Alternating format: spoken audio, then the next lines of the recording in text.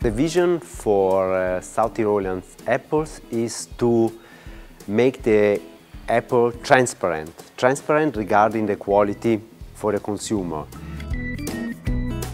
Even now at Interpoma you can already see the first technologies that are able to measure the quality of each fruit and they are able to, in the future, to guarantee or to provide the information on how the apple will taste, on how the apple is uh, healthy, that exactly the one fruit you held in your hand.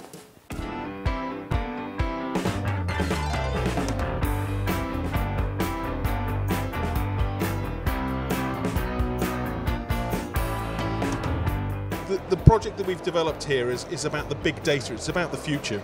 If you can spot with our technology both the count and the size of the apple, then you can look at how the yield maps, how to improve performance of class 1 fruit, how to plan your labour correctly, look at harvest dates. These are all things that you can do with our data.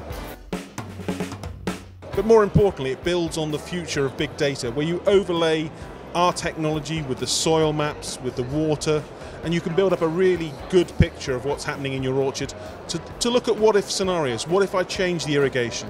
What if I change the fertilizer that I'm using? It will produce a, a result that's impressive and average out over the entire orchard, not just one tree. And that's where, that, where our technology has a real advantage.